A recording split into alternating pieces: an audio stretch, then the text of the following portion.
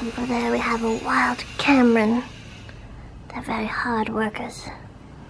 Top of the food pole. What is it? The food totem pole. Top of the food cycle. I don't know. Chikarusi, come help me!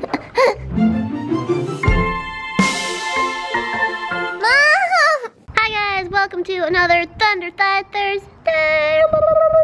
I just want to start off with a quick little story time, okay? Fun fact, I'm allergic to a lot of things.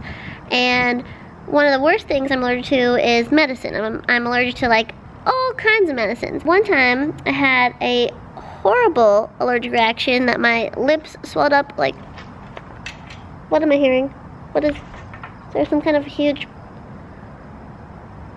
excuse me, ended up having like a terrible reaction. I had to be rushed to the hospital. My throat was starting to close up. It was really terrifying. My my lips, my hands were swollen, like I looked like Angelina Jolie. And then since then, I've gotten an EpiPen. Anyways, the day you're watching this Thursday, I have a video shoot uh, for another channel. We're filming two videos, and you know, when you're filming for someone else's channel, especially, like you wanna look your best. And today, I woke up with a giant like cystic zit under the skin, which I don't know if you can see it now.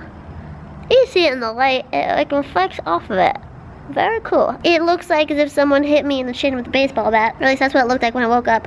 So I called the dermatologist ASAP and I was like, please let me in. I, I just need to get a cortisone injection to uh, take the zit down, like take the swelling down. And it's like one of the very few things that's ever worked for me to get rid of uh, cystic zits. So anyways, today I went and he injected it and then I asked him if there was anything else I could do um, to like help make it go away more by tomorrow. He was like suggesting some antibiotics that I could take all the time uh, so that this doesn't like keep happening. I told him no and I told him that I am allergic to a lot of medicines and then I was listing off uh, the medicines I was allergic to and then I was like showing him I have the list on my phone of all the medicines I'm allergic to and the first one I always list is erythromycin because that's like the, my worst allergic reaction I've ever had. I told him, I was like, no, I don't want to do that. He was like, okay, well, I do have like a topical like gel you can put on it like twice today, which will probably help you, help it go down by tomorrow. And I was like, okay, great.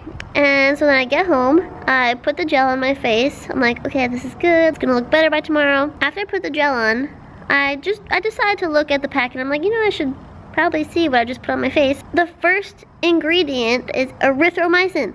The medicine that I'm highly allergic to had to be sent to the ER because I'm so allergic to it, was given an EpiPen because I'm so allergic to it. I had just put it on my face and he had just given it to me after I told him multiple times that I'm allergic to that. And so, yes, it is my fault for not reading the ingredients on the package before putting it on my face. However, this is my dermatologist that I have told multiple times, including multiple times just today, how I am allergic to erythromycin.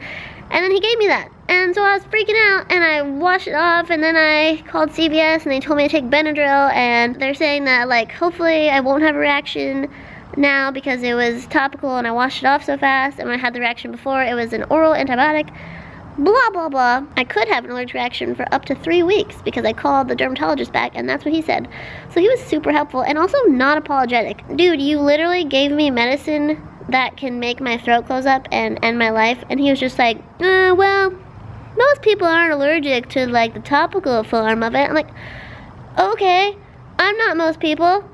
I am one single person that has had a terrible reaction to this medicine before. So, I was really mad. And anyways, point is, I was gonna film something else today, um, but I didn't because I was mostly focused on trying not to die from an allergic reaction today. Having your throat start to close up and your hands literally be like baseball mitts. My, my fingers were so fat I couldn't dial on my phone.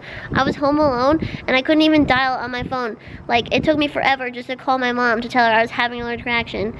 Then she came home and rushed me to the hospital. I guess I should have called 911, but I didn't know because it was my first time ever having that happen. It was terrifying. I don't know. I wanted my mom and I was scared. Anyways, the rest of the video that you're going to be watching today is a DIY uh, for an IKEA dresser. And if you guys aren't into do-it-yourself projects, I'm sorry, but you still might want to watch this video because it, might inspire you to like DIY projects and you'll see how you can turn a relatively cheap dresser into something nice and uh, fancy looking. So please enjoy this dumb blonde DIY and please watch the video all the way through and give it a thumbs up and don't forget to subscribe and I love you. Okay, here we go. Hello friends. So, I should have started filming this earlier, but I'm terrible at this, uh, you know, YouTuber thing. But Cam and I are doing a DIY project. So, I wanted to show you guys what we're working on. It's like how to be thrifty. How to make your stuff look nice without spending a lot of money. Kind of thing. I look rough. Also, the zit on my face really looks like a nipple. No. On my last video, someone commented that they love how I show all of my many blemishes. like, thanks for noticing. What are you eating? okay. This is camel toe. it's hard to tell right now, but this was an IKEA dresser. Malm. Like, mom, M-A-L-M for all you Ikeas out there. I'll put in a picture so that you can see what it looked like originally since it's a little deconstructed currently. I don't know if you can tell this is all black and we are gonna make it white and add gold accents which we've already been spraying. Cam put in all those nails and then we sprayed them and then we sprayed all these uh, brackets that were silver and look I spray painted one side already. And Cheeky, show them what spray paint we're using. Rust-Oleum appliance epoxy Huh. in white and spray painted this Yeah. It's like a shake weight. Okay, so now what we're gonna do is spray all the drawers. Here we go. Show you guys what it looks like from black to white. Oh, Oh, what was that? oops. Here we go. That's fumes going, huh? Jeez. Getting over that. It's a nice stance you got there. Here, Kim. Huh. Put this on. Safety first. Should have done this when we were spray painting before, you guys. You gotta wear a mask, okay? Or else you breathe in the spray paint and then Those fumes are no buenos. you'll die.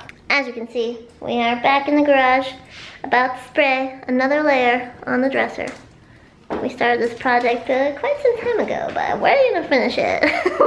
well, as you guys know by now, I'm terrible at this vlogging thing, but um, I forgot to vlog when Cam drilled holes in all of these so we could put the drawer handle thingies on. And look at it, he put one in and it looks so good. Now he's putting in the next one. Good job, Cam. Screw it in. Screw it. Screw it. Oh, why is it stripping? No, don't strip. That's a good lesson here. Let's talk about stripping, you guys. Don't do it. Where's the screwdriver? Cardi B did it and it worked out for her. Okay, so while Cam is doing some screwing, I have the very important job of opening up these packages. Takes a lot of technique, takes a lot of skill. You guys will get there. Just keep doing your thing, keep doing DIY, and someday you will get to my level. And now over to Cameron Kennedy for Wait, hold on. Hold on. and now over to Cameron Kennedy for the DIY tip of the day. And uh, do-it-yourself tip. Um, when screwing in these screws, uh, you can do it with the drill, your handy dandy drill thing. Um, but just finish it off with a screwdriver so you don't crack the wood. Because if you're using too much torque on the screw um, gun, you're just gonna crack the wood, and we don't want to do that. Crack is bad. You see, you just tighten it right there. That's it. Hand hand tighten. Don't machine tighten. Okay, thanks for that tip of the day. I also get the cool job of taking all of these screws out of this cardboard. Here we go.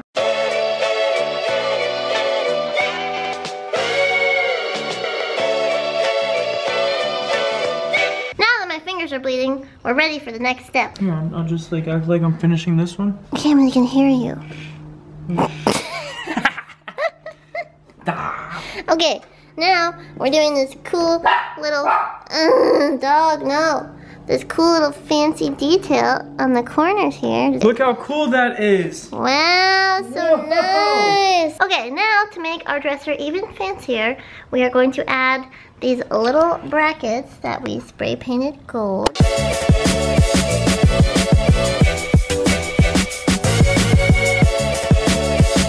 We completed one drawer. Ba, ba, ba,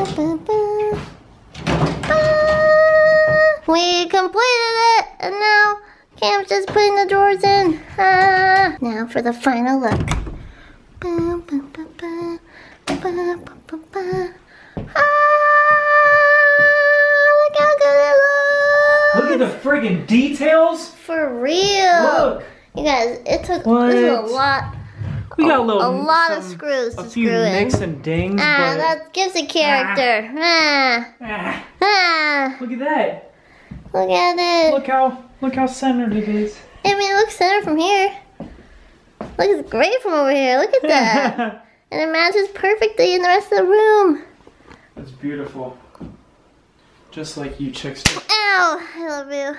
So, as you guys know, Cam and I redid this IKEA dresser, and he- I keep hearing about this damn dresser. I know, and I want to show you because I feel like you'll appreciate it. Maybe, hopefully. Did You- he do most of the work or did you? Uh, Because I kind of feel like you did.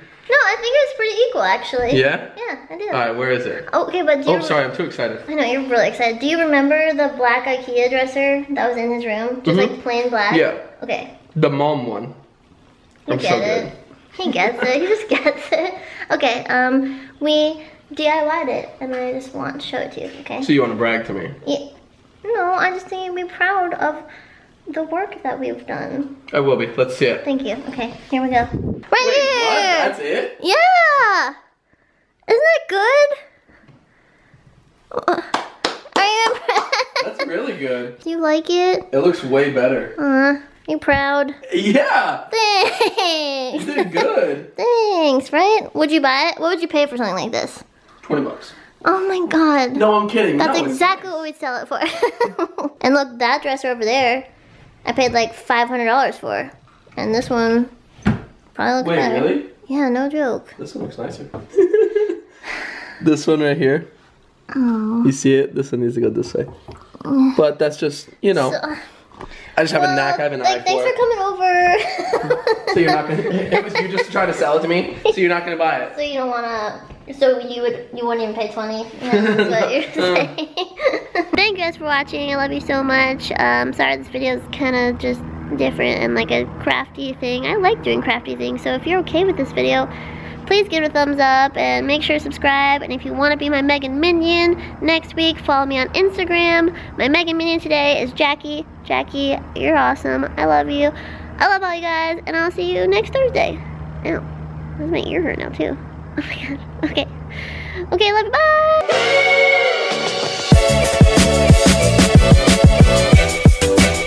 I said no car for this week. You're grounded. Remember, Zero? Nope. Nope. You can't take the car out.